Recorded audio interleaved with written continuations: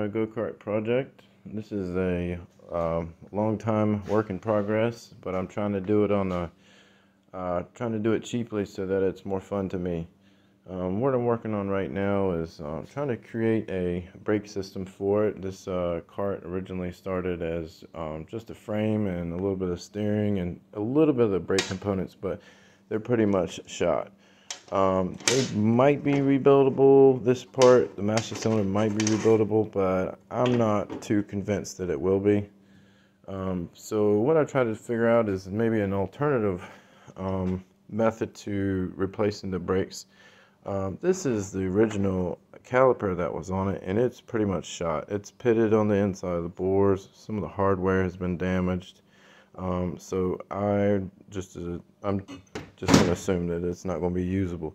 In order to replace the brakes that are on it would be over $300. So I want to do this on a budget. So what I thought about doing was I got a brake caliper from a CBR 1000 and um, the way that I figured out that I could mock this up is I created a makeshift rotor uh, temporarily and I'm probably going to end up mounting it about like that. So it should fit in there nicely. I've got the uh, brake bleeder on the top.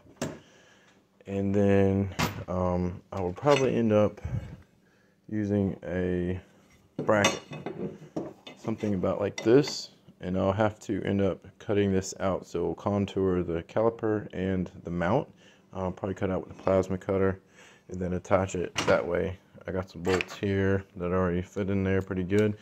Um, the rotor that I plan on using will be a quarter of an inch. Now I used a caliper gauge to check the distance in between here. Now I did go online and look at the brake thickness, the pad thickness um, is roughly a little over four millimeters when they have new pads on here. So the maximum rotor that could fit in here would have been a quarter inch, which is what I'm going to try to use the stock sized rotor on a street bike um, CBR 1000 is probably going to be more like a 3 16ths. So, and then what I also picked up, now this is a rear uh, master cylinder for the rear brake on a CBR 1000. I want to try and see if I can use this with this. Now, I'm not sure that this is going to move enough fluid, but we're going to try to bench test it when I get this mounted up. If it doesn't work out, then I'll probably do a rebuild kit for the old master cylinder. Um, and we'll go that route. But uh, after that um, I'll see if I can upload a uh, update video and see how all the mounting and everything went. Thanks